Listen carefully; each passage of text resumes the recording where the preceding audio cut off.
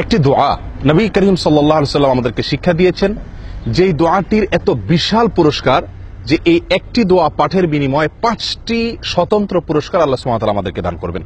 এবং এর এমন পুরস্কারগুলো আল্লাহ তালা দিবেন যার প্রত্যেকটি পুরস্কার পাওয়ার জন্য স্বতন্ত্র বিশাল বড় বড় ইবাদতের প্রয়োজন। কিন্তু এই একটি দোয়া আপনি পাঠ করলে আল্লাহ সুমাতালা আপনাকে সেই পাঁচটি পুরস্কার দান করবেন। সে দোয়াটি হলো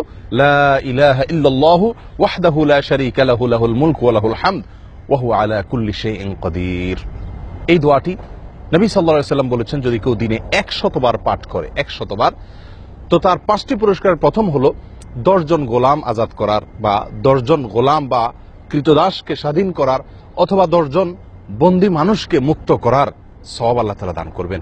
দুই, আল্লাহ তালা তাকে একশত নেকি দান করবেন। তিন একশতটি গুনাহ থেকে আল্লাহ তালা তাকে মুক্তির ঘোষণা দিবেন। তার গুনাহ মাফ করে দিবেন একশতটি। চার, ওই দিনের জন্য শয়তানের আক্রমণ থেকে আল্লাহ তালা তাকে নিরাপত্তা দান করবেন। তার জন্য সুরক্ষা হয়ে যাবে শয়তান থেকে। নাম্বার পাঁচ, ওই দিনে আল্লাহ সুমাতালার কাছে এই একশো বার এই দোয়া পাঠকারীর চাইতে বেশি আমল নেওয়ার কেউ হাজির হওয়ার কোনো সুযোগ থাকবে না। অর্থাৎ যে যত সব উপার্জন করুক না কেন, ওই দিনের সবচেয়ে বড় কামাই হবে তার।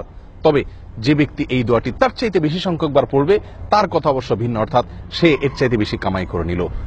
দোয়াটি হলো, লা ইলাহা ইল্লাল্লাহু ওয়াহদাহু লা শারীকা লাহু, লাহুল মুলকু ওয়া লাহুল হামদ, ওয়া হুয়া আলা কুল্লি শাইইন কাদির হাদিসটি বুখারী, মুসলিমে বর্ণিত হয়েছে।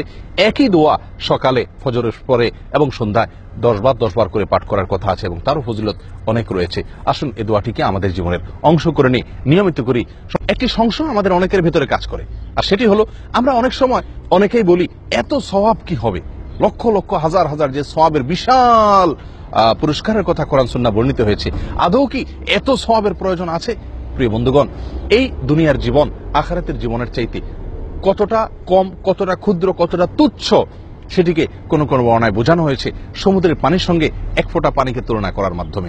এক ফোঁটা পানি সমুদ্রের পানি থেকে উঠানোর পরে সমুদ্রের পানি এবং এক ফোঁটার ব্যবধান যত, দুনিয়ার জীবনের সাথে আখারাতের জীবনের ব্যবধান তত।